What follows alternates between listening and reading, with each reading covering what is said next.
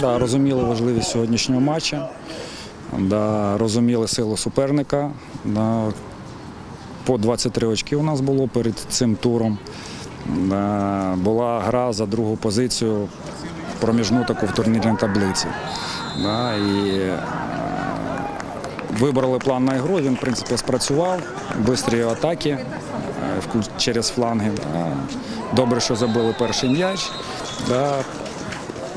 Та у них е, видалили гравця, трошки стало полегше грати, забили другий м'яч, але е,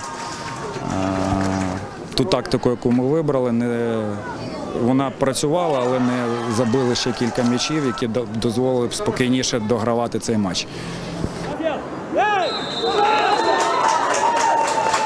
Це один із ключових моментів матчу. Ми бачили, що дуже агресивно грали е, з початку другого тайму команда Дніпро.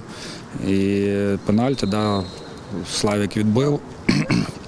І це був один, із ключових моментів матчу, що додавало нам сил. І ще раз наголошую, що треба забувати свої моменти, коли ми добре виходили в атаку, але не забували там і пусті ворота, і е, не розпоряджались м'ячем.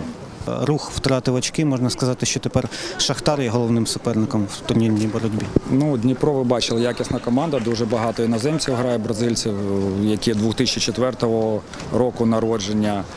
Е, Багато збірників у них грає. Е, Ми розуміли, що ця команда на- в деяких позиціях на два роки, на рік старше. Да, гравці 5 четвертого, у нас 6 п'ятий. Тобто, Тому той баланс, який е, команда Дніпра робить в атаці за рахунок цих виконавців, да, дуже якісно вони працюють в атаку. Але ми сьогодні практично не давали створювати моменти і тактично правильно зіграли.